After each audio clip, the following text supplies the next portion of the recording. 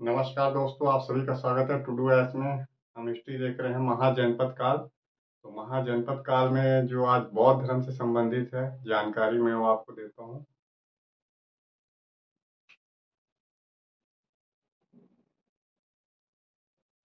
बौद्ध धर्म। हमारा क्या आज का टॉपिक है? बुद्ध। देखिए, महात्मा बुद्ध सबसे पहले जो है बौद्ध धर्म के संस्थापक हैं, इनका एक पूरा परिचय देखना होगा हमको। फिर ये देखना होगा कि बौद्ध धर्म की नींव कैसे पड़ी है। तो इसमें क्या है टॉपिक आपका? बुद्ध का परिचय। जब इंट्रोडक्शन आप पढ़ लेंगे, बुद्ध का परिचय, फिर इसके बाद बुद्ध के सिद्धांत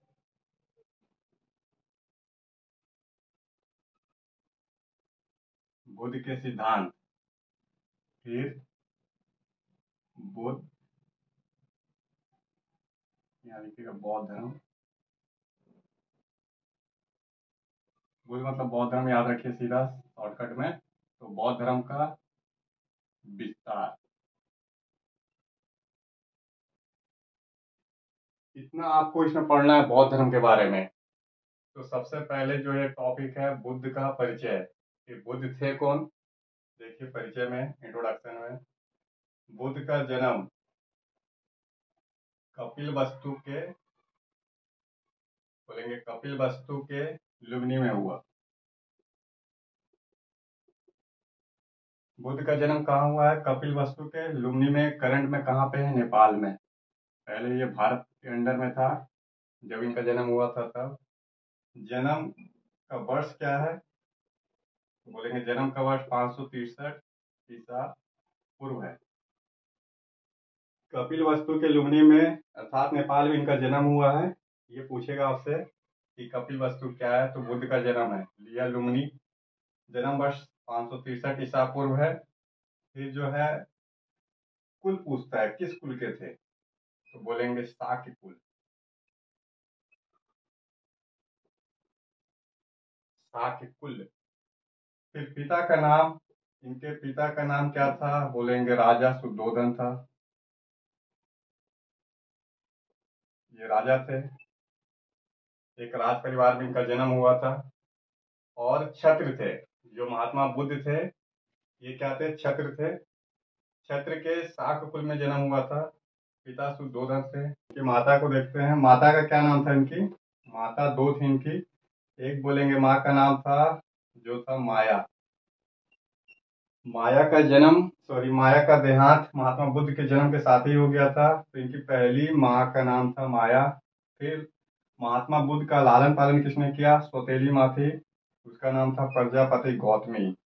प्रजापति गौतमी। ये। तो दो माताएँ थी इनकी। याद रखिएगा मा, माया नाम था एक प्रजापति गौतमी नाम था।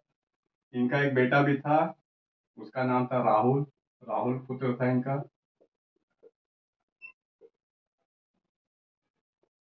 और पत्नी का नाम क्या था? यशोधरा। यशोधरा। ये पत्नी थी इनकी यशोधरा। इनका एक चचेरा भाई भी था, उसका नाम है देवदत्त, जो इनके बाद उत्तराधिकारी बना था। देवदत्त। तो महात्मा बुद्ध से संबंधित एक पूरा परिचय आप देख लीजिए कि महात्मा बुद्ध का जन्म कपिल वस्तु के लुम्नी में हुआ, जो नेपाल में है। इनका जन्म हुआ है पाँच सौ तिरसठ ईसा वर्ष पूर्व कुल था साके कुल और छत्री थे पिता राजा सुद्धोधन माता दो माता थी माया और प्रजापति गौतमी। पुनः राहुल नामक पुत्र था, पत्नी जो थी यशोधरा थी और इनका चचेरा भाई है ये। तो चचेरा भाई कर लीजिएगा। देवदत्त है। ये इनका बेसिक परिचय है। ये सारा जानकारी कहाँ से मिलता है? तो याद रखिए, अशोक का एक अभिलेख है लुमनी में। ये जो लुमनी है, यहाँ पे अशोक का एक अभिलेख प्राप्त हुआ है, जो बुद्ध की स्थानीयता अर्थात बुद्ध कहाँ थे, जन्म कहाँ हुआ था, ये बताता है।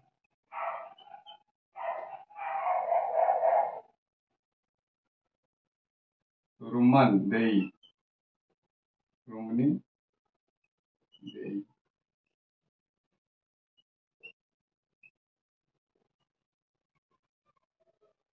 लुम्नी अभिलेख है, अशोक का अभिलेख है, अशोक का अभिलेख। इस अभिलेख में पूरी जानकारी है महात्मा बुद्ध के लोकेलिटीज का कि कहाँ पे है। तो ये भी आपसे पूछ सकता है रूमी देही अभिलेख, किसका अभिलेख है, अशोक का अभिलेख है, क्यों प्रसिद्ध है रूमी देही अभिलेख? बोलेंगे महात्मा बुद्ध जो है, इनका परिचय था। अर्थात जन्म बताता है इनका कि कहाँ हुआ था। ये है आपका बुद्ध से संबंधित एक इंट्रोडक्शन अब इसी में आगे देखते हैं हम लोग कि बुद्ध आखिर महात्मा, बुद्ध कैसे हो गए? महात्मा का इनका सफ़र कैसे तय हुआ?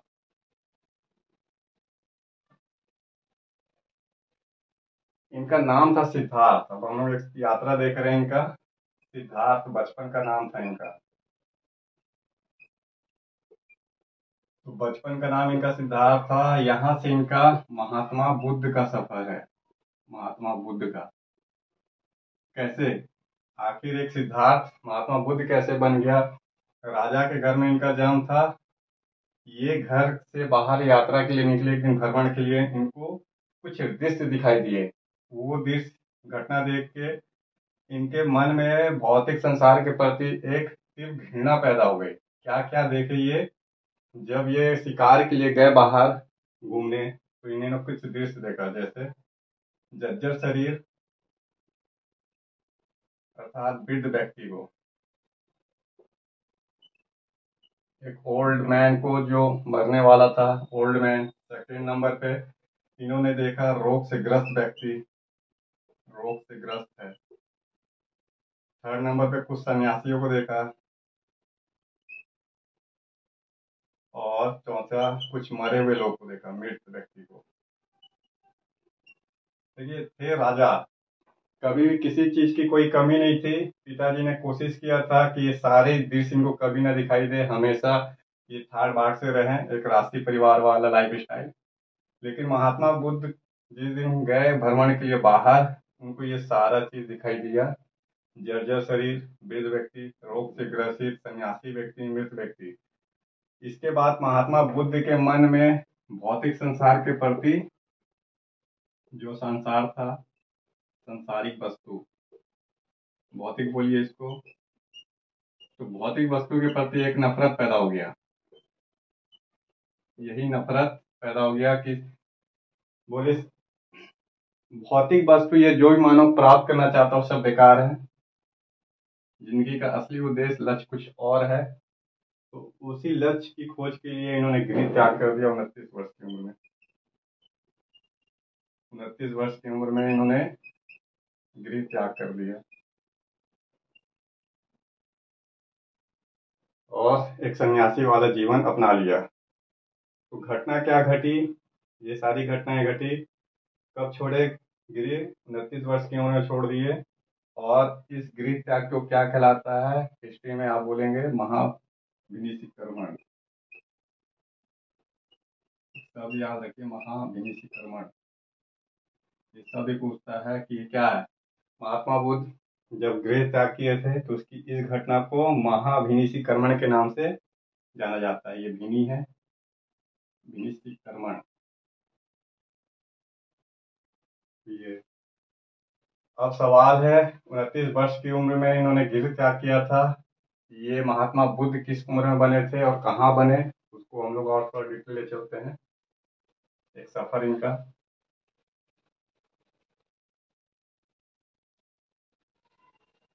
महात्मा बुद्ध छह साल तक, उनतीस वर्ष की उम्र में गृह त्याग किया, छह साल तक गृह विहीन जीवन व्यतीत किया। अर्थात भटकते रहे। इस दौरान इन्होंने दो शिक्षक, टीचरों से ज्ञान प्राप्त किया। अब देखिएगा टीचर भी कभी कभी पूछता है, एक है, जो छह साल तक ये घूम रहे थे तो इन्होंने दो टीचर बनाए थे, जो इनको ट्रेन करते थे, या शिक्षा प्राप्त कर रहे थे, एक है आचार्य कलाम, ये हैं वैशाली के थे तो वैशाली में इनको ध्यान योग सिखाया था कि योग कैसे करते हैं, महात्मा बुद्ध को। आचार्य कलाम, इनके टीचर थे महात्मा बुद्ध के तो शिक्षक बोलेंगे, शिक्षक थे आचार्य कलाम ये वैशाली के थे तो महात्मा बुद्ध वैशाली में भी थे, जहाँ पे ध्यान योग की पूरी प्रक्रिया को सीखा। एक और था टीचर इनका, रामपुत्र। तो रामपुत्र इनका शिक्षक था, राजगिरी में इनको ट्रेन किया था।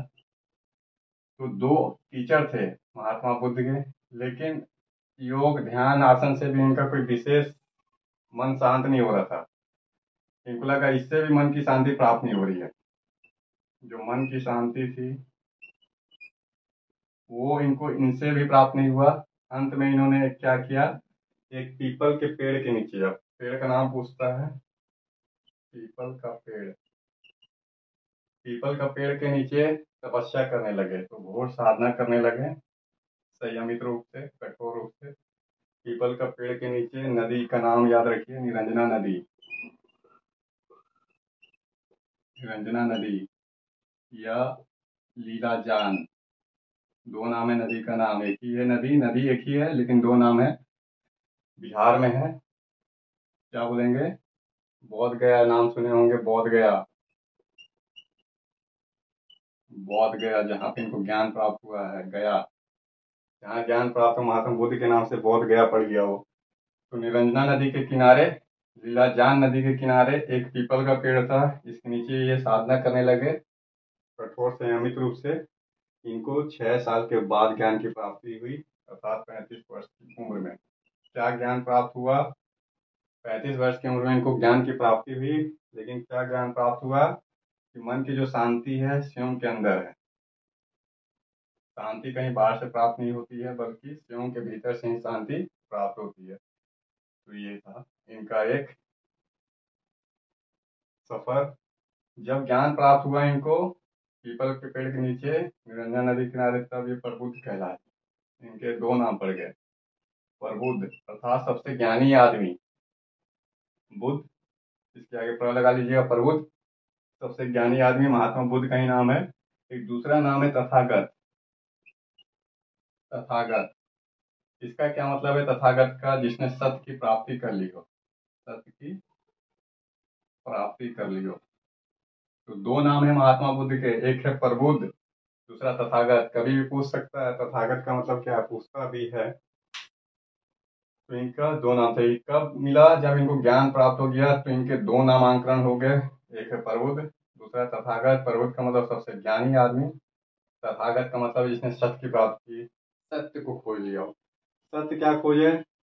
चरम शांति, असली शांति मन के अंदर है, अर्थात स्वयं के अंदर है। तो ये आपका इनका एक पूरा परिचय था। इस दौरान काफ़ी लोगों से इनका मुलाकात हुआ। ठीक है? खीर खिलाने वाली एक लड़की सुजाता है। शिष्ट बनाए, अब देखते हैं थोड़ा सा और। फैक्ट में कुछ भी फैक्ट पूछ सकता है, क्योंकि ये बहुत इंपॉर्टेंट है बौद्ध धर्म।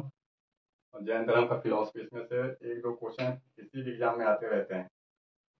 यहाँ पे देखिए जो शिष्य थे इनके कभी कभी पूछता है, सबसे प्रिय शिष्य का नाम था आनंद? सबसे पहला उपदेश इन्होंने कहा दिया था? पहला उपदेश ज्ञान प्राप्त कर लिए और पहला जो उपदेश दिया था तो पहला उपदेश दिया था इन्होंने सारनाथ में। कहा है सारनाथ? बनारस के पास है। वाराणसी। तो बनारस के पास जो सारनाथ है, पहला उपदेश महात्मा बुद्ध ने दिया था, पाँच शिष्य बने थे। तो पाँच स्टूडेंट उस समय इनके बन गए थे। सबसे प्रिय शिष्य था आनंद, ये इसको याद रखना है। तो पहला उपदेश सारनाथ दिया, प्रथम उपदेश को धर्म उपदेश कहते हैं। धर्म चक्र याद रखिए। धर्म चक्र। जो प्रथम उपदेश है, इसको किस नाम से जाना जाता है? धर्म चक्र ये घटना है। दो घटना तो ऐसे घट गई। गिरी त्याग को महाभिनिषी कर्मण। ये शब्द का मतलब क्या है? गृह त्याग एक घटना एक घटी थी। अर्थात जो बौद्ध धर्म है, उसमें जो भी किताब आपको मिलेंगे, उसमें घटनाओं का ज़िक्र है। महाभिनिषी कर्मण किया गया है। धर्म चक्र प्रथम उपदेश सारनाथ में दिए उस घटना को। धर्म चक्र बोला जाता है। ये है आपका अंतिम से जो आनंद है इनका, लास्ट उपदेश सुना था महात्मा बुद्ध का। जो अंतिम उपदेश है, महात्मा बुद्ध ने आनंद को दिया था कि दुनिया की हर वस्तु परिवर्तनशील है क्षण भर की है, सबका नाश होता है। तुमको अपना गाइडलाइन सेम होना चाहिए। तो आनंद ने सुना था इनका अंतिम उपदेश। इनकी मृत्यु कब हुई थी? मृत्यु, बोलेंगे पाँच सौ पाँच सौ तिरसठ में जन्म था, चार सौ तिरासी ईसा पूर्व। इनकी मृत्यु हो गई। कहाँ मृत्यु हुई? जन्म तो कपिल वस्तु की लुमनी में हुई, मृत्यु बोलेंगे उत्तर प्रदेश के कुशीनगर में। तो कुशीनगर में मल था, ये गणसंघ मैंने आपको बताया। तो यूपी के कुशीनगर में इनकी मृत्यु हुई है चार सौ तिरासी ईसा पूर्व। ये है महात्मा बुद्ध का पूरा एक इंट्रोडक्शन भ्रमण करने का। कि कहाँ ज्ञान प्राप्त हुआ? तो बोलेंगे, महात्मा बुद्ध को ज्ञान हुआ, बौद्ध गया में। नदी का नाम पूछे निरंजा नदी। पेड़ का नाम पूछे, पीपल का पेड़। और ये भी पूछ सकता है, मृत्यु किस पेड़ के नीचे हुई थी? इसमें है कि मृत्यु किस पेड़ के नीचे हुई थी। बोलेंगे, साल का पेड़ है। ज्ञान किस पेड़ के नीचे प्राप्त हुआ? पीपल का पेड़ लेकिन मृत्यु, बोलेंगे, साल पेड़ के नीचे हुई थी। ये अब कभी कभी एक और इसे मृत्यु में पूछ लेता है कि कोई किस बीमारी से हुई थी, बोलेंगे डायबिटीज़ था इनको। शुगर शुगर बीमारी था डायबिटीज़ तो डायबिटीज़ से इनकी मृत्यु हुई थी।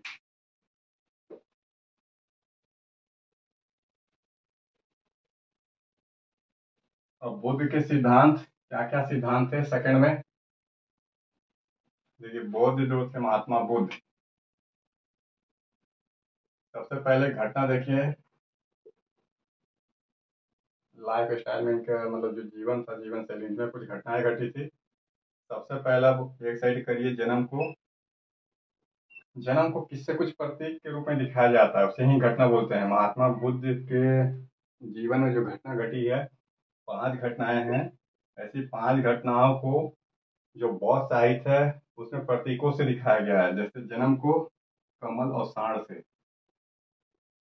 जहाँ भी कमल और साढ़ मिलते हैं, इसका मतलब होता है बौद्ध साहित्य में कि महात्मा बुद्ध के जन्म को दिखाया गया है। फिर इनको जो गिरी त्याग किया घर छोड़े गिरी त्याग को बोलेंगे, किस प्रतीक से दिखाया जाता है? अश्व घोड़ा। जहाँ घोड़ा मिलेगा उन्हें गिरी त्याग है। इनको जो ज्ञान की प्राप्ति हुई है, निवारण निवारण, ज्ञान प्राप्ति को निवारण। निवारण से। निवारण का क्या मतलब है कि ज्ञान की प्राप्ति हुई है। पहला जो उपदेश दिया, पहला उपदेश पहला उपदेश को बोलेंगे धर्म चक्र। फिर इसमें जो इनकी मृत्यु हुई है, परिनिवारण से। मृत्यु को दिखाएँगे। परिनिवारण से। तो देखिए, निवारण का मतलब तो ज्ञान की प्राप्ति है। मृत्यु का मतलब है परिनिवारण है। तो ये घटना है पाँच घटना, एक साइड और मैच करने के लिए। प्रतीक के रूप में दिखाना है कि इनका जन्म कमल और सांड से दिखाया जाता है। गृह त्याग को अस्त ज्ञान प्राप्ति को निवारण से। पहला उपदेश धर्म चक्र, मृत्यु, परिनिवारण। के पाँच घटनाएँ महात्मा बुद्ध से संबंधित है। इसको नोट करिएगा। यहाँ पे हम लोग सिद्धांत की बात कर रहे हैं, महात्मा बुद्ध ने क्या क्या सिद्धांत दिए थे? और सिद्धांत के लिए हमको एक बैकग्राउंड में इनका जाना पड़ेगा कि ऐसा क्यों हुआ कि सिद्धांत इनको देना पड़ा और कौन कौन से इनके सिद्धांत को मानने वाले शासक भी हुए तो इसमें पूरा ये देखना हमको। देखिए, महात्मा बुद्ध जो थे, सिद्धांत के पीछे, आखिर सिद्धांत क्यों दिए? तो महात्मा बुद्ध जो थे, तार्किक। वो आध्यात्मिक विकास की बात करते थे।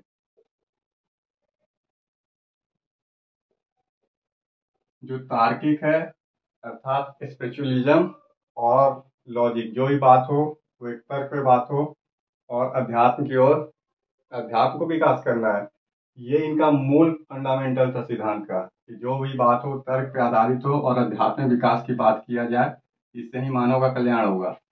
लेकिन इन्होंने जैसे वेदों में उस समय क्या चल रहे थे? तो पुरोहितों का वर्चस्व था, ये वैदिक काल है तो पुरोहितों का जो वर्चस्व था, इन्होंने पुरोहित के वर्चस्व को नकार दिया। जाति प्रथा थी, जाति प्रथा को नकार दिया।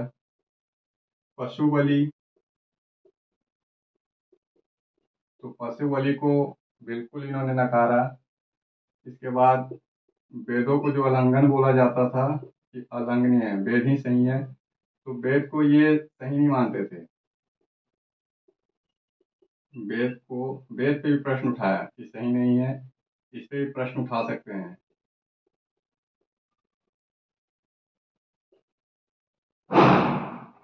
तो वेदों को सही तरीके से ये बिल्कुल ही मानते थे, इस पे भी प्रश्न उठा सकते थे वेदों को। पशु बलि की क्या करते थे? घोर निंदा करते थे कि पशु बलि नहीं होना चाहिए, जाति प्रथा नहीं होना चाहिए, पुरोहित वर्ग का वर्चस्व है। इसका भी विरोध करते थे। जटिल कर्म कांडों का विरोध करते थे। जो जटिल कर्म कांड हो रहे थे, उसका ही विरोध करते थे ये। और फिर क्या बोलेंगे कि ईश्वर तथा आत्मा ईश्वर और आत्मा के बारे में क्या थे? अगयवादी रुख अपनाते थे। एक शब्द आता है अगयवादी अगयवादी रुख। देखिए ध्यान से ये वाला पोर्शन जो ईश्वर है और आत्मा है, इसके बारे में अगयवादी रुख अपनाते थे। फंसना नहीं चाहते थे इन प्रश्नों को। अगर कोई इनसे पूछता था कि ईश्वर है कि नहीं है, आत्मा होती है कि नहीं होती है, या तो ये मौन धारण कर लेते थे महात्मा बुद्ध। ये आंसर मतलब आंसर नहीं देते थे, ये फंसना नहीं चाहते थे। ये देवता है कि नहीं है तो बोलते थे, लेकिन कर्म के सिद्धांत पे आधारित है। ये अभी हम सिद्धांत देखेंगे। अर्थात ईश्वर को भी कर्म के अंदर रखते हैं। ईश्वर भी कर्म करता है, देवता भी कर्म करता है। या तो आंसर ना दे, या तो कर्म का सिद्धांत सब पे लागू करते थे। बाकी इनके सिद्धांत का कारण यही था कि ये जो तार्किक अध्यात्मिक विकास की क्यों बात कर रहे थे तो ये सब मेजर कारण था। थोड़ा उत्तर वैदिक काल आते आते क्या हुआ था, समाज में काफ़ी सारा कर्म कांड होने लगे थे। उस कांड को लेके ये एक साइंटिफिक सोच दे रहे थे कि समाज को वैज्ञानिक रूप से आगे बढ़ना चाहिए, आध्यात्मिक विकास की बात करना चाहिए। इतना अगर जटिल कर्म कांड करेंगे तो समाज में फिर भोग की प्रणाली बढ़ जाएगी, भौतिकवादी चीज़ बढ़ेगा, लोगों का कल्याण नहीं होगा। इस तरीके से सिद्धांत को इन्हें एक साइंटिफिक रूप दिया। फलस्वरूप जो इनका सिद्धांत कहलाता है, वो वैज्ञानिक अधिक कहलाता है। साइंटिफिक हाँ नैतिकता की बात कर रहे हैं, वैज्ञानिक तो है, नैतिकता भी है। इनके सिद्धांत में बहुत कुछ छुपा है, जैसे जाति प्रथा का विरोध करना, डेमोक्रेसी का अंग है लोकतंत्र का, कि सारे इक्वल हो, कोई भी जात पात ना हो। फिर पशु बलि, की एनिमल जो एक्टिविटीज़ है, पशु क्या है, वो पर्यावरण का एक अंग है तो पशु संपत्ति भी है। फिर है यहाँ पे कि वेदों में अगर कुछ ऐसा चीज़ है जिसको न माना जाए तो उसका विरोध करना। इस आधार पे देखा जाए तो वैज्ञानिक तो है, नैतिकता भी है, कर्म पे भी आधारित है। इसलिए बोला जाता है कि सामाजिक समानता की अधिक बात कर रहे हैं। इनका सिद्धांत लोकतांत्रिक वाला था। लोगों के बीच में तेज़ी से फैला प्रचार प्रसार हुआ। और देखें इनके सिद्धांत को थोड़ा डीपली हम लोग, गहराई से क्या क्या सिद्धांत है।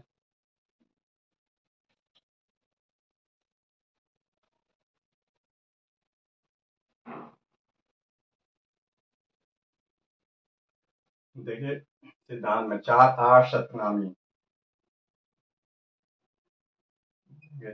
चार आर सत्य है। अर्थात चार चीज़ सत्य है।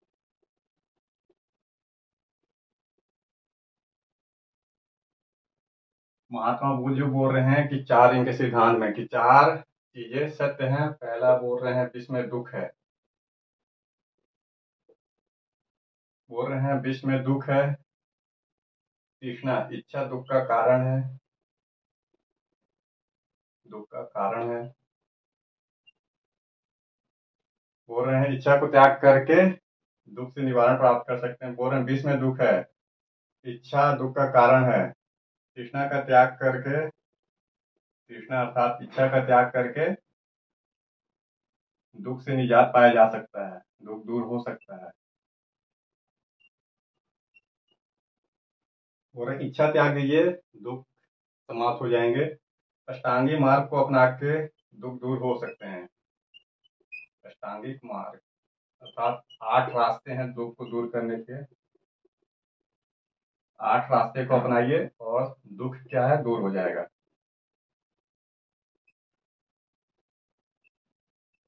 ये। तो बोल रहे हैं बीच में दुख है, इच्छा, दुख का कारण है, कृष्णा का त्याग करिए, दुख से बचेंगे। आठ मार्ग को अपनाइए, अगर ये भी नहीं हो पा रहा तो आठ मार्ग को आप अपनाइए, दुख दूर हो जाएँगे। अब कौन कौन से आठ मार्ग हैं? तो देखिए, यहाँ पर मैं लाइन से लिख देता हूँ, अष्टांगी मार्ग जिसको बोलते हैं। अष्टांगिक मार्ग, याद रखिए, आठ रास्ते। सम्यक दृष्टि। यहाँ सब में सम्यक सम्यक जोड़ते चलिएगा। सम्यक दृष्टि, सम्यक संकल्प संकल्प, सम्यक वाणी, सम्यक कर्म, सम्यक आजीव, सम्यक व्यायाम।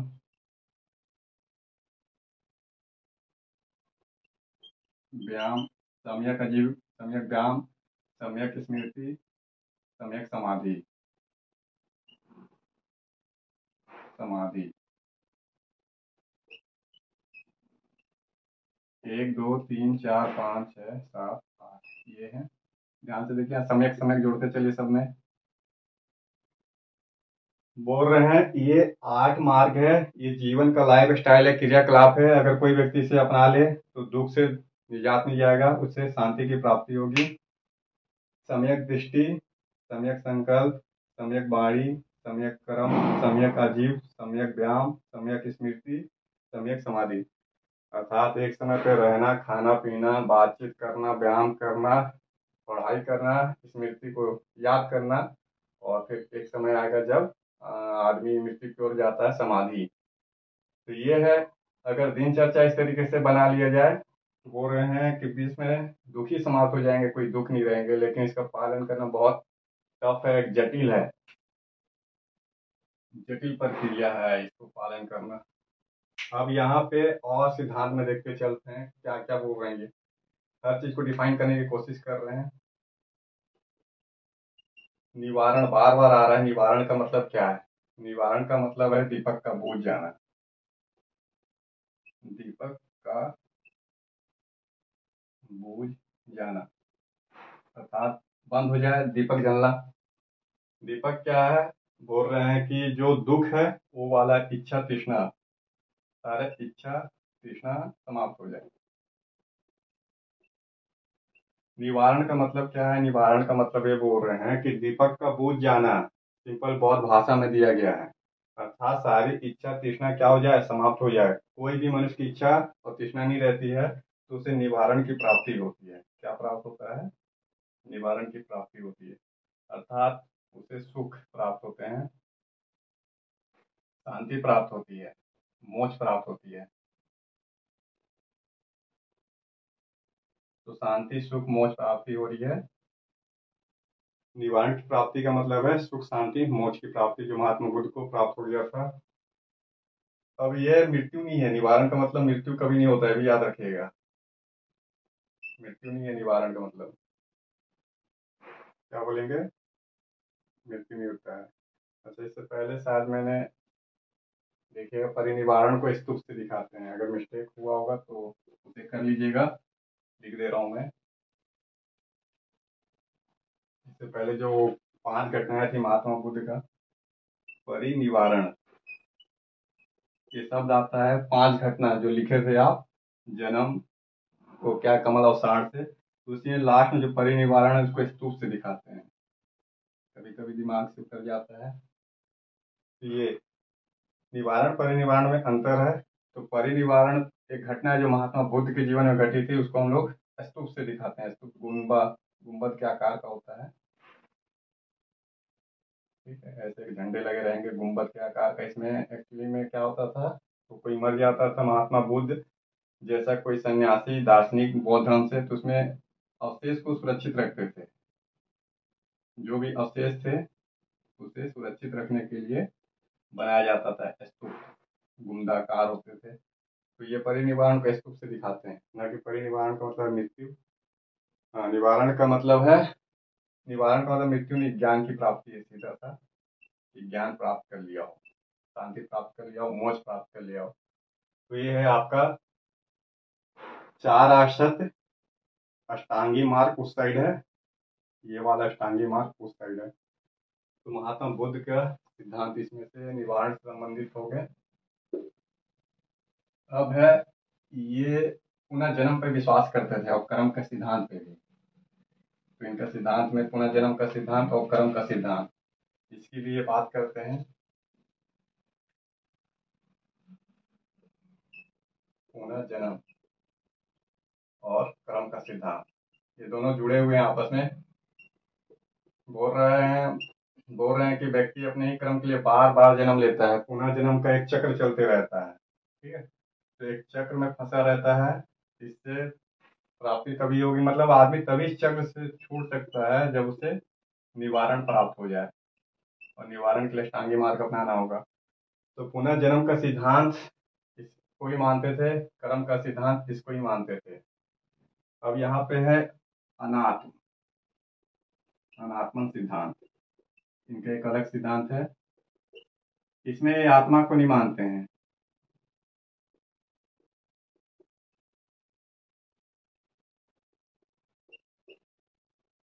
क्या बोलेंगे? अनाथ सिद्धांत महात्मा बुद्ध का है।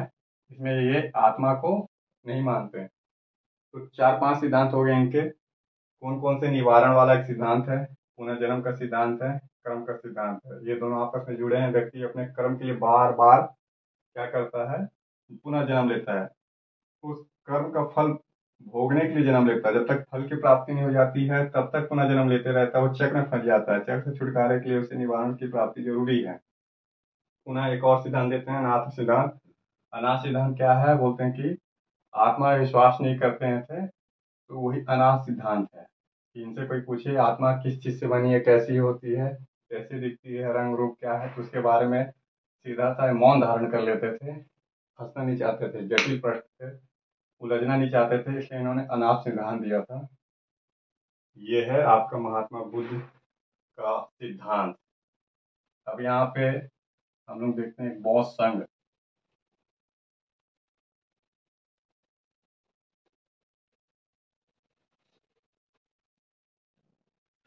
क्या है बुद्ध संघ? ये बौद्ध संघ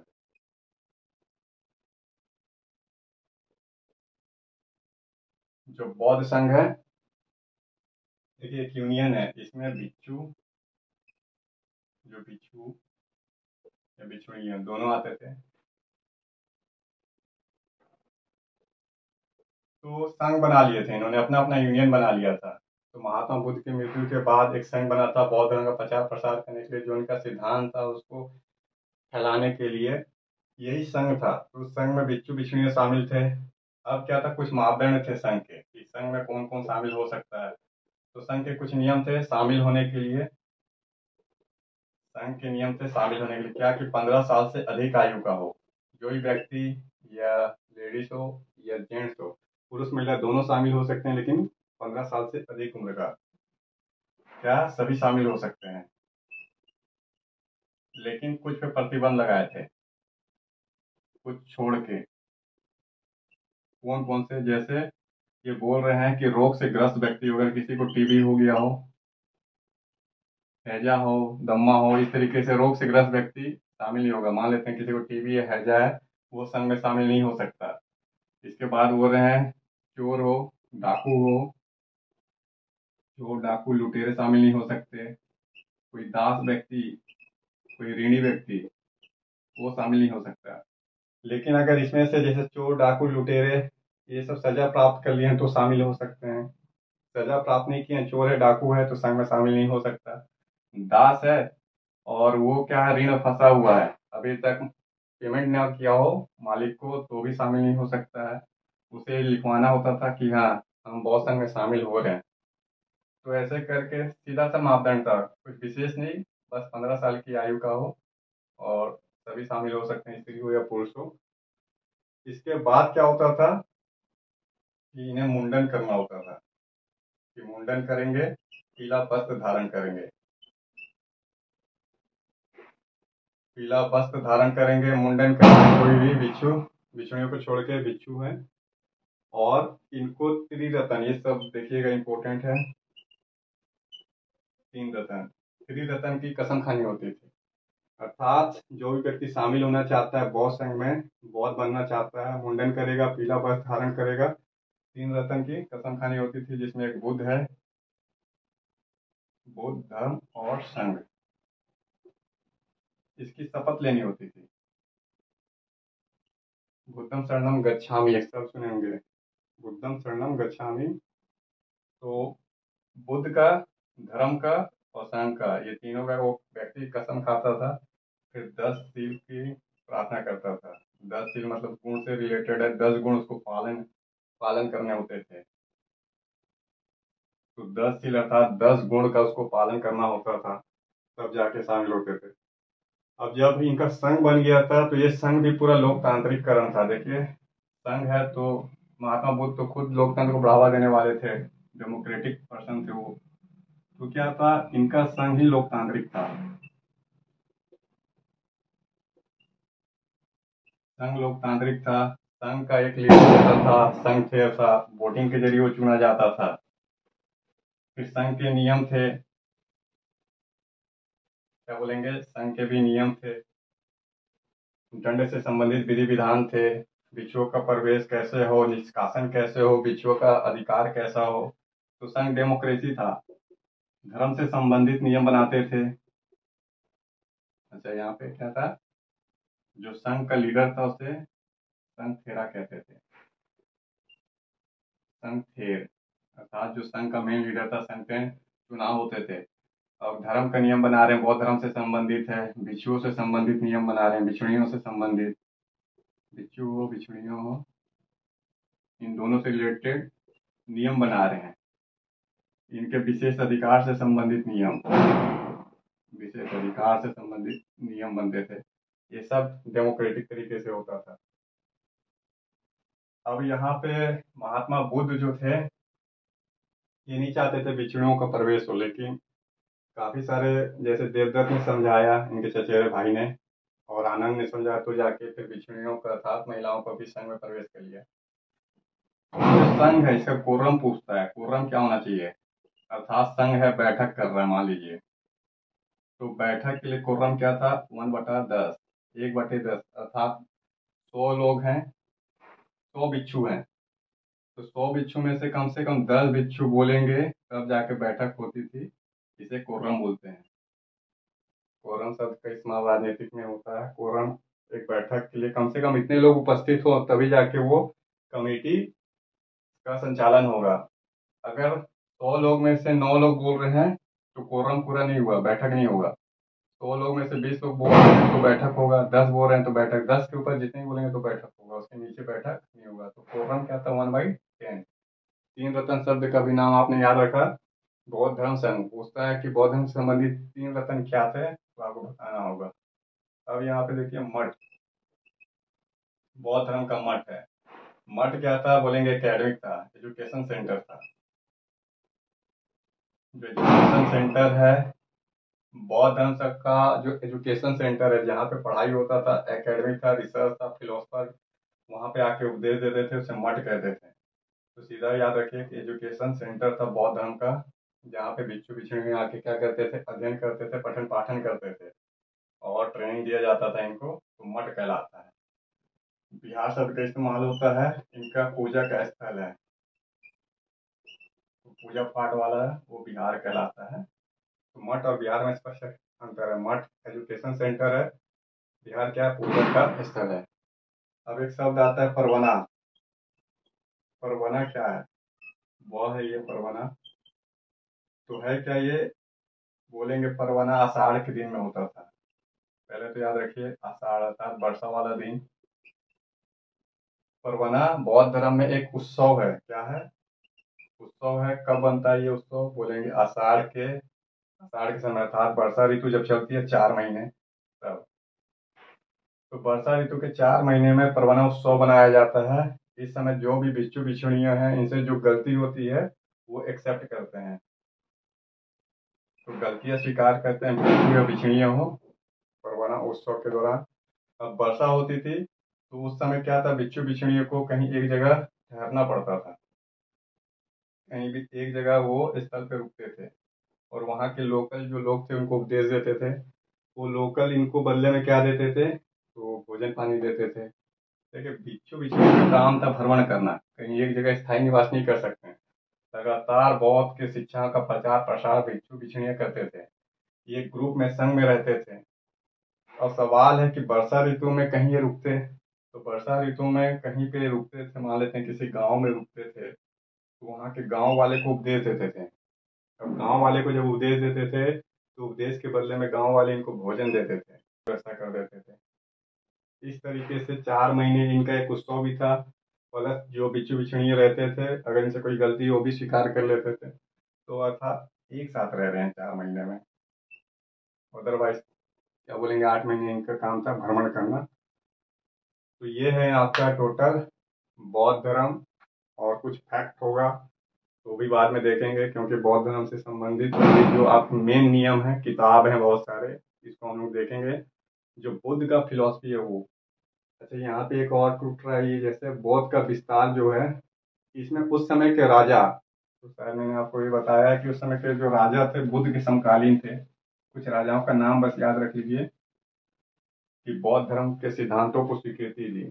जो बुद्ध थे, उन्होंने जो सिद्धांत बनाए थे तो बुद्ध के सिद्धांत को स्वीकृति देने वाले कौन कौन से राजा थे इसके समझिए तो बोलिए राजा में कि परसेंजित था। आपको याद होगा परसेंजित कौशल का राजा। कौशल राजा। परसेंजित ने स्वीकृति दी महात्मा बुद्ध के सिद्धांत को। बिम्बसार अजात शत्रु। बिम्बसार अजात शत्रु ये दोनों। मगध के शासक थे। महात्मा बुद्ध के सिद्धांत को स्वीकृति दे रहे हैं। प्रसेनजीत भी महात्मा बुद्ध भीमसार आज़ाद शत्रु ये प्रशंसक थे महात्मा बुद्ध को। महात्मा बुद्ध से बराबर मिलते रहते बातचीत भी करते रहते उनके सिद्धांत को लागू करने की भी कोशिश करते थे। तो ये है। धीरे धीरे राजाओं का समर्थन मिला, उसके बाद प्रचार प्रसार हुआ। इसको हम देखेंगे, क्योंकि इस पर तो और एक वीडियो बनेगा। तब तक के लिए नमस्ते।